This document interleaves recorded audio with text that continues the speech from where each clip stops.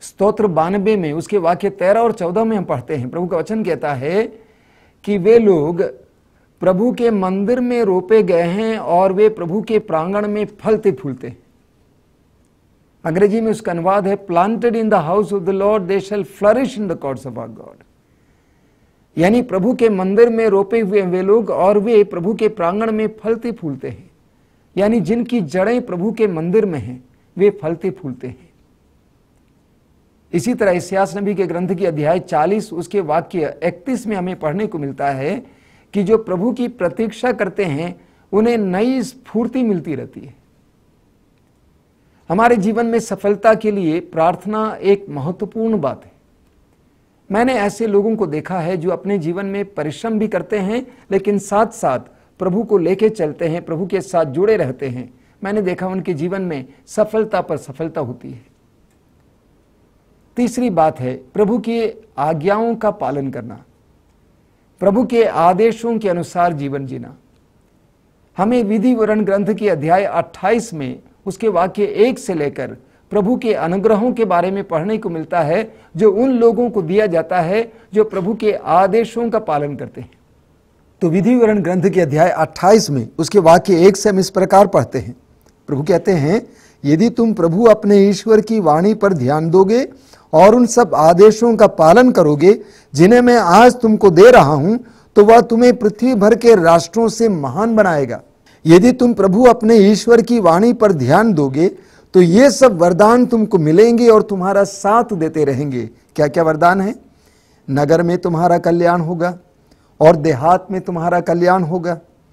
तुम्हारी संतान, तुम्हारी भूमि की उपज तुम्हारे पशुधन, तुम्हारी गायों और भेड़ बकरियों के बच्चों को आशीर्वाद प्राप्त होगा। तुम्हारी टोकरी और आटा गूंथने के पात्र को आशीर्वाद प्राप्त होगा।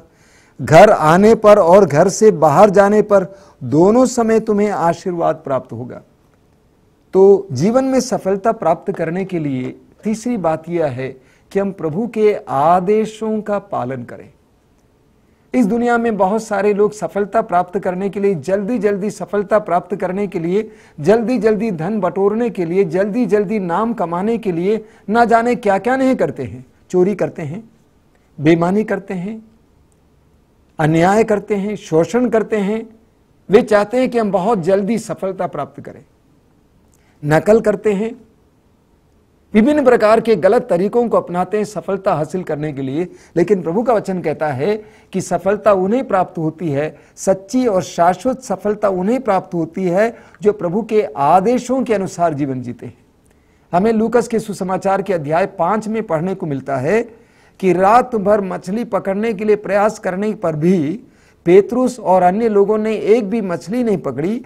हालाँकि वे पेशे से मछुए थे प्रभु यीशु के आदेश का पालन करने से उन्होंने इतनी सारी मछलियाँ पकड़ी, न केवल अपने नाव, बल्कि अपने मित्रों के नावों को भर दिया।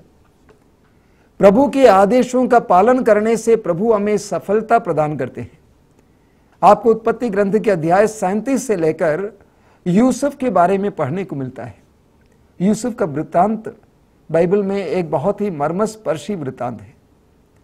याकूब के बारह पुत्रों में से एक यूसुफ, जिसको याकूब बहुत प्यार करते थे। लेकिन उसके भाई लोग उससे ईर्ष्या करते हैं।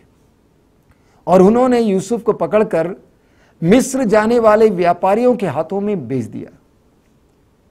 और व्यापारी उसको मिस्र देश ले जाते हैं। आगे आप पूरे वृत्तांत में बहुत सुंदर मर्म स्पर्शी बातें सुनते हैं। अध्याय उनतीस में आप पढ़ेंगे कि यूसुफ पोटीफर के घर पे पहुँच जाते हैं।